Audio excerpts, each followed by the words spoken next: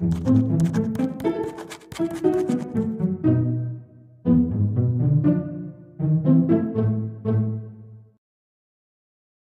a tutti e benvenuti o bentornati sul canale Stilograficamente, il canale dove la mente si rivolge al bello. Oggi è arrivato il momento della prova di scrittura della Pinaider Avatar Twin Tank Touchdown nella sua versione Clear. Ci eravamo lasciati con la promessa di testare adeguatamente questo strumento di scrittura. Abbiamo visto l'unboxing, abbiamo visto l'esame delle parti della penna non fatto benissimo per la parte del fondello perché ne parliamo oggi assolutamente. Tutto quello che dirò è presente in questo opuscoletto che è qui davanti a me, cioè il presupposto di questo test di scrittura, fra virgolette, complesso, viene proprio dalle asserzioni che sono fatte qui.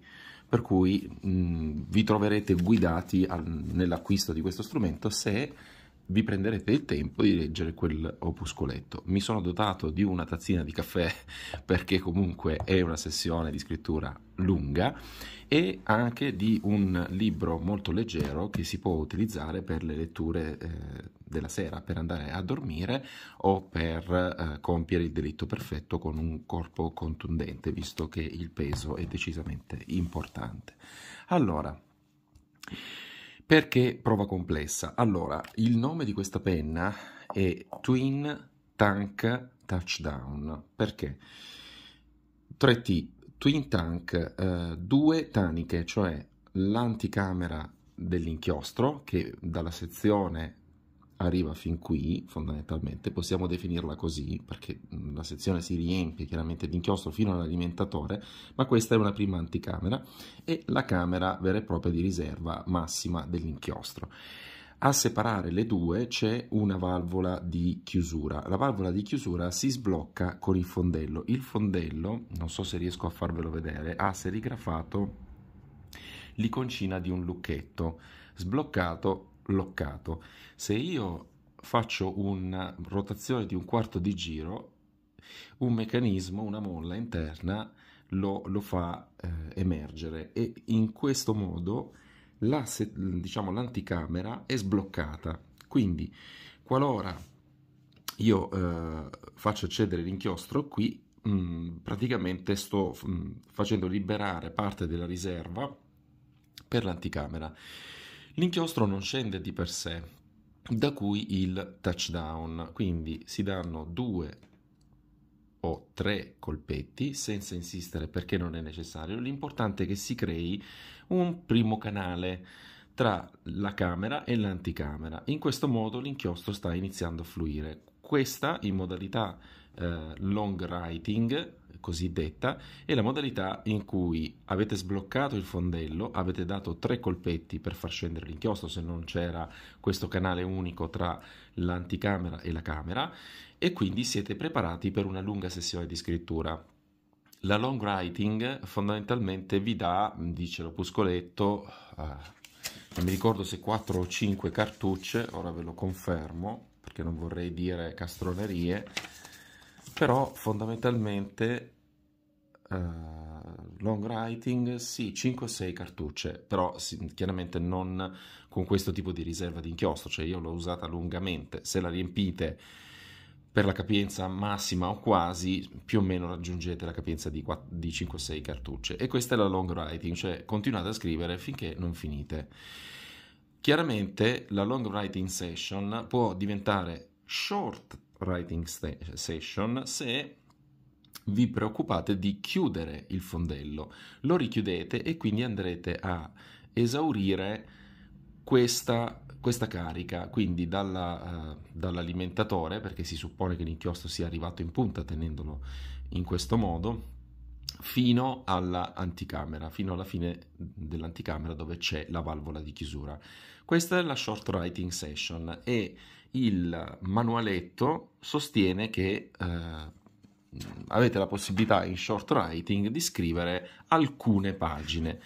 Alcune pagine però di che formato non lo specifica. Ora, noi qui abbiamo la 5, lo stesso che ho usato per la recensione, la prima prova di scrittura della penna, ehm, però non abbiamo contezza di quanto, eh, quante pagine possiate andare a, a, coprire. Ora vi salto la prefazione e l'introduzione del corpus hermeticum perché già di suo è bello corposo, si chiama corpus apposta, e andiamo direttamente al pimandro.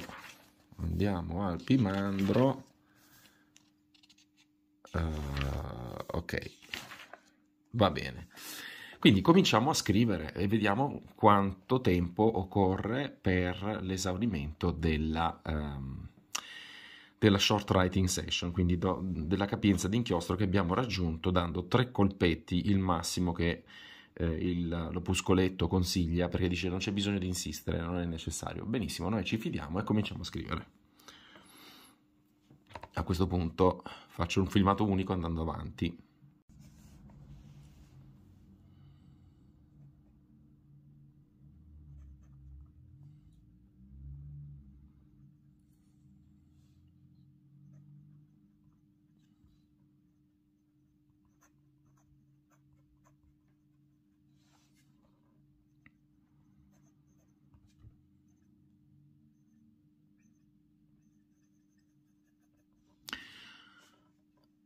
Allora, eh, c'è incertezza, c'è incertezza, probabilmente si in, si è seccato l'inchiostro in punta, la penna non la usavo da un po'. In questi casi cosa faccio? Riapro, forse la, la prima prova non andava bene, concediamole una chance, quindi diamo tutti i colpetti che servono, questa volta più di tre a questo punto, e richiudiamo.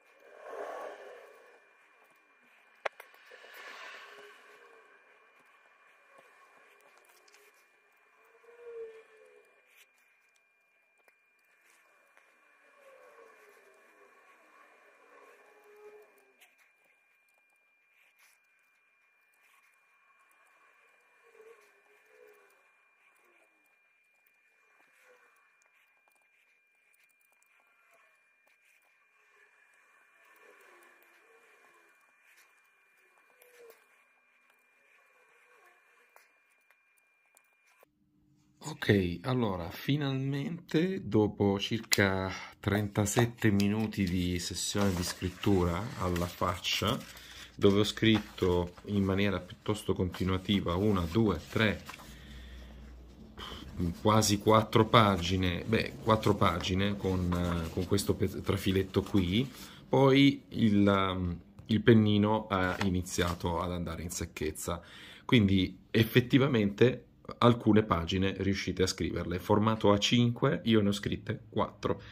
E lasciatemi dire, non dovete fare altro se volete proseguire che uh, o lasciare aperto per non avere questo blocco mai finché non si va a esaurire tutta l'intera carica, oppure aprire, dare un altro colpetto di touchdown, perché fate proprio touchdown con, con il dito sul fondello, e riuscirete ad avere dopo averlo chiuso, un'altra short writing. In questo momento, come vedete, l'inchiostro si è andato a esaurire sulla anticamera dell'inchiostro, dell'inchiostro, la prima camera, insomma, la prima riserva, per cui l'abbiamo esaurito qui, l'abbiamo esaurito nella sezione e nell'alimentatore ed è per questo che è andato in, in secchezza, ma per far questo ci sono volute ben quattro pagine di scrittura pressoché continuativa, insomma qualche volta mi avrete visto inserire cappuccio, prendere un attimo di pausa perché una sessione di scrittura veritiera che dir si voglia, insomma, ha delle sue pause, almeno per bermi il caffè e, e poter proseguire. Una cosa che, che, ho notato, beh, qui è andato proprio in esaurimento, una cosa che ho notato è che il, nel momento in cui io applicavo il cappuccio e poi lo toglievo, c'era una sorta di moto di risucchio che faceva affluire eh, più copiosamente l'inchiostro, cioè la tinta era leggermente più intensa e questo è positivo um, qualora facciate delle pause, per cui riparte subito senza incertezza e riparte bello umido come tratto. È un inchiostro turchese Visconti usato per il test, la carta è rodia puntinata, Devo dire che il test per me, per la short writing, è, è, è superato. Per la long writing non dovete, è la stessa cosa fondamentalmente, l'ho già verificato io in una settimana, se voi lasciate, non avevo fatto il test di short writing, questa è la prima volta che lo faccio con voi, eh, almeno non consapevolmente, e, e, durante la settimana io di solito tengo il fondello aperto perché non voglio limiti. Poi mettiamo il caso che eh, io lo tenga aperto, abbia fatto il, il touchdown, quindi sia sceso l'inchiostro, vedete, deve scendere, deve crearsi un canale continuo. Se non scende, dovete continuare a fare touchdown. Quindi su questo mi sento di contraddire leggermente le istruzioni che dicono, bah, date due o tre colpi, non, non, serve fare altro. No, dovete accertarvi che l'inchiostro scenda, magari mettendola più in verticale di come stavo facendo io, però l'inchiostro deve scendere. Se non scende, non si crea quella ehm, compattezza di molecole che dà la continuità di flusso, perché una volta sceso si crea questo canale e l'adesione che c'è tra le molecole, la forza di adesione che ci sono tra le molecole dell'inchiostro fanno sì che continui a scendere durante la sessione di long writing. Qualora mi accorgessi che devo prendere un aereo di colpo o che non devo scrivere più, basterà capovolgere la penna, vedete era già sceso, poi dipende dalla fluidità del vostro inchiostro, in questo caso è abbastanza liquido il Visconti turchese, per cui scende subito, altrimenti date alcuni colpetti di incoraggiamento e l'inchiostro scenderà. Direi che è una penna sicuramente, infatti si chiama Traveler, pensata per gli spostamenti. L'Ultra Resin, anche se, come vi ho detto nello scorso video di recensione delle parti della penna, è una resina fatta di un composito di madreperla, quindi l'involucro delle, delle ostriche è resina, per cui comunque uno sfruttamento del regno animale, fondamentalmente, in questo caso molluschi, ma tutto quello che volete, mitili forse, non lo so, eh, però in, in linea di massima, ecco, io non so come vengano ricavate queste mm, bucce di, uh, uh, di ostrica. Presumo che non, non, vadano a raccogliere quelle abbandonate dalla, dal mollusco, per cui sinceramente, o quelle in, rimaste dal banchetto dei pesci. Quindi eh, in questo senso non me la sento eh, di essere proprio serenissimo. Eh, però facendo un passo indietro da un punto di vista ingegneristico, ed è per questo che le ho dedicato tutto questo spazio, è una penna che denota l'evoluzione del genio di, um, di, di, di, Dante del Vecchio, perché fondamentalmente lui è passato... Allora, in Visconti lui aveva fatto la Homo sapiens lava Bronze Age ed era un vacuum filler semplice. Poi aveva fatto la Florentine Hills che abbiamo visto su questo canale, quindi se non avete visto la recensione andatevela a vedere, che aveva la doppia camera. Questo è il terzo step, cioè doppia camera ma anche un meccanismo di touchdown che vi permette sia di stabilire quando fare una long writing, una short writing e di incoraggiare a fare il cosiddetto priming dell'alimentatore eh, gli stranieri lo chiamano priming, quando fondamentalmente di solito si fa con la penna a cartucce, la penna a cartucce si dà qualche mandata in maniera tale da far discendere l'inchiostro nell'alimentatore e, e renderlo bello pregno quando sta andando in secchezza. Nel nostro caso abbiamo una vacuum filler che ha questa possibilità, quindi complimenti Dante del Vecchio, anche questa volta secondo me ci hai stupito con un sistema di caricamento eh, a mio avviso nuovo, non, non, lo definirei una semplice siringa rovesciata, perché la siringa rovesciata mh, non necessariamente ha una valvola di chiusura, alcune ce l'hanno, altre no. La Visconti Homo sapiens lava Bronze Age, che diciamo propriamente come brevetto Visconti si chiamava Power Filler, non aveva la valvola di chiusura. Quindi comunque il fondello anche chiuso non, non ostruiva il passaggio dell'inchiostro. Per cui tenete a mente di tutte queste cose se la penna dovesse interessarvi. Io ehm, vi lascio diciamo con una conclusione sugli aspetti che ho notato di questa penna positivi e meno positivi. Allora, sicuramente molto bello l'accesso pieno a tutte le parti che compongono la penna, quindi il fatto che ci sia un perno per eh, sostanzialmente tenere ferma il meccanismo della clip che si muove con l'aiuto di una molla torna in posizione, per cui presumo che ci sia una sporgenza qui che schiaccia la molla quando allargo la, la clip e la molla per sua memoria torna indietro e fa tornare la clip al suo posto. E quindi molto bello che io possa capire qual è il meccanismo che c'è sotto perché è completamente clear. L'Ultra Resin ha di suo, che in questa veste perlomeno, è decisamente demonstrator, non, non lascia nulla all'immaginazione, non c'è niente di fumé e anche da un punto di vista, come posso dire, di um, scorrevolezza dell'inchiostro sulle pareti interne, io non sono riuscito a macchiare questo cappuccio eh, in nessun modo. Vuoi perché comunque c'è il meccanismo di isolamento della seconda camera, quindi magari dando qualche colpetto riuscirei a macchiarlo. Adesso non mi va sinceramente di starlo lì a pulire, però gli aspetti positivi, sicuramente un'alta capienza di inchiostro, sicuramente una prestanza dal punto di vista eh, della scrittura, delle sessioni di scrittura, anche la short abbiamo visto dura un bel po', quindi se fate un viaggio in aereo 37 minuti ve li fate tutti di scrittura con le vostre dovute pause.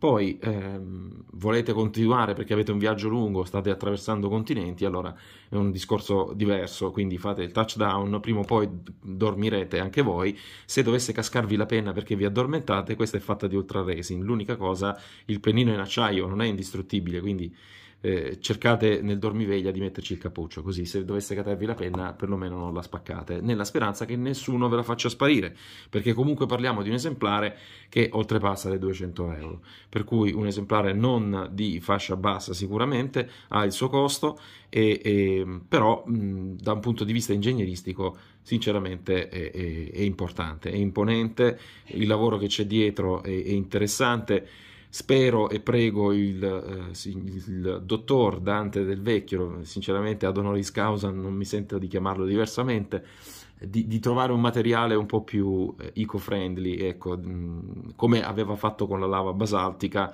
qualcosa di simile. Ci è riuscito con la Alchemist, perché comunque sia era sempre sul mondo minerale, quindi era una penna, l'abbiamo vista anche quella su questo canale, molto robusta Sull'ultra racing mh, mm, abbiamo fatto, secondo me, dal punto di vista del, della sostenibilità ambientale, un passo indietro, ma dal punto di vista ingegneristico, ripeto, assolutamente passo avanti.